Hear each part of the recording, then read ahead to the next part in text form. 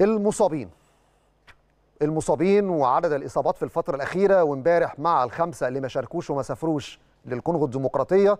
الناس شافت إصابة لأكرم توفيق خرج بسببها وإصابة لأحمد نبيل كوكا خرج بسببها.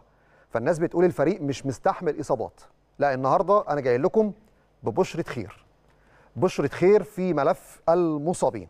اولا أكرم هو جرح قطعي في أسفل الحاجب. بإذن الله إن شاء الله مش هيكون سبب في اعاقته عن المشاركة في لقاء العودة. يعني أكرم بإذن الله متواجد في لقاء العودة وده جرح قطعي بسيط تم التعامل معاه من الجهاز الطبي. طيب كوكا.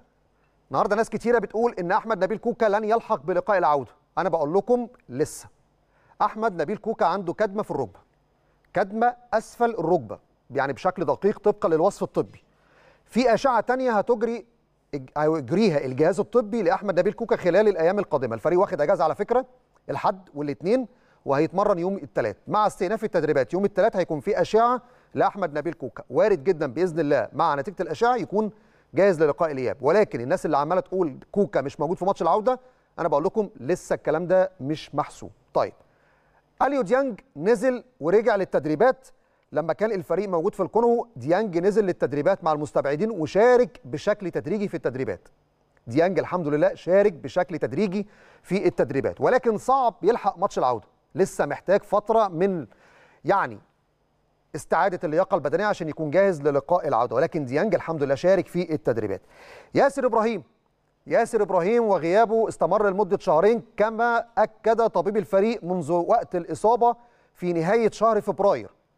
قال إن الإصابة هتاخد لها 8 أسابيع وده اللي قاله كولر امبارح في سياق دفاعه عن دكتور أحمد جاب الله طبيب فريق النادي الأهلي. الحمد لله في التوقيت اللي قاله الدكتور ياسر نزل بشكل تدريجي وطبعا عشان يقدر يشارك في المباريات محتاج عدة أيام. ولكن لو الجهاز الفني عايز ياخد ياسر موجود. لو عايز ياخد يانج موجود. نزلوا في التدريبات الجماعية. نزلوا في التدريبات. وده أعتقد يعني شيء إيجابي جدا وبشره خير لتقليص عدد قائمة المصابين. فإذا ديانج وياسر وكوكا وأكرم توفيق. مروان عطية يوم الثلاث اللي جاي لما الفريق يستأنف تدريبات هيكون موجود في المران الجماعي هيكون موجود في المران الجماعي ولكن مروان بقاله أكتر من حوالي أسبوعين ثلاثة برضه مش موجود في المباريات. هل مشاركته هيحسمها الجهاز الفني؟ ده أمر يخص مارسيل كولر. ولكن مروان يقدر ينزل للتدريبات الجماعيه يوم الثلاث حسين الشحات خلاص جاب يمكن الجهاز الطبي قدر يوفر قناع واقي للوجه عشان يرتديه في التدريبات. ولكن برضه هيكون متواجد في التدريبات وهتشوف حسين في التدريبات الجماعية. ولكن أمر مشاركته في المباريات هيتوقف على وجهة نظر مارسيل كولر. أنا بس بطمنكم إن كل اللعيبة اللي كانت مصابة سواء بعمليات جراحية أو إصابات عضلية نزلوا التدريبات خلاص نزلوا ومتواجدين. ولكن هنستنى ونشوف يوم الثلاث الموقف إيه. آخر حاجة متعلقة بإمام عاشور ومحمد الشناوي. بشرة خير أيضا. إمام عاشور ومحمد الشناوي جاهزين للتدريبات الجماعية والاثنين طبقا للرؤية الطبية. ما عندهمش ما يمنع من المشاركة في المران الجماعي.